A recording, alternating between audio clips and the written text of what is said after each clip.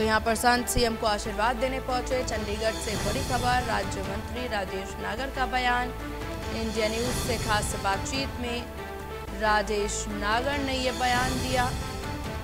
संत CM को आशीर्वाद देने पहुँचे। सभी संतों का सम्मान किया गया।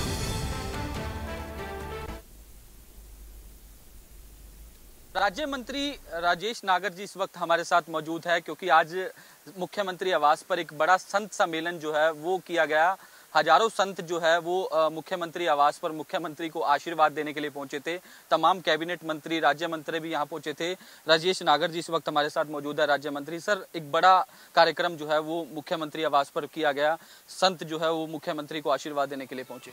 आज पूरे भारतवर्ष से साधु संत, महात्मा यहाँ पर पहुँचे हैं और हवन में शामिल होकर हमारे माननीय मुख्यमंत्री श्री नायब सैनी जी को बहुत बहुत शुभकामनाएँ और बधाई देने के लिए यहाँ पर आए, आशीर्वाद देने के लिए यहाँ पर आए और अभी तक ये साधु संत हमारे सभी यहाँ पर बैठे हैं, सबका सम्मान किया गया, सबको अभी भोजन भी कराया जाएगा और जिस तरह का माहौल यहाँ पर बना था, पूरे भारतवर्ष के जो साधु संत महात्मा यहाँ पर आए एक देखने वाला एक माहौल था यहाँ पर।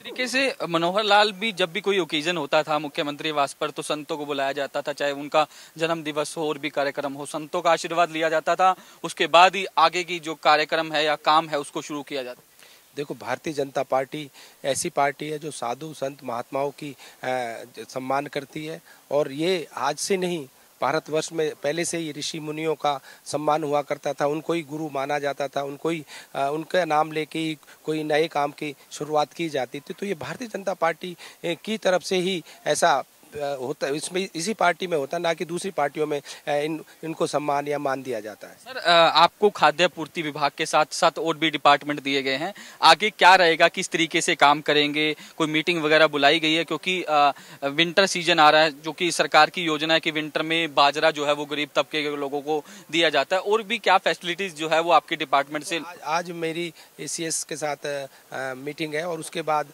आगे की जो भी रणनीति है वो बनाई जाएगी। और जो भी का आगे के काम है उसको उसी हिसाब से किया जाएगा। आप लगातार जिस तरीके से लापरवाह अधिकारी थे उनको भी चेतावनी दी थी कि अब काम करना शुरू कर दे लापरवाही नहीं चलेगी। तो मैसेज देना चाहेंगे कि जनता के कोई काम रुके ना उनको परेशान ना किया जाए क्योंकि सरकार का भी यही दावा है कि किसी को परेशान नहीं होने दिया जाए। देखो जनता ने हमें चुनकर भेजा है हम जनता के जनप्रतिनिधि हैं और अगर जनता के काम नहीं करेंगे तो हमारा बनने का कोई औचित्य नहीं बनता है। तो इसलिए अधिकारियों को हमने स्पष्ट बोल दिया है जो काम कर सकता है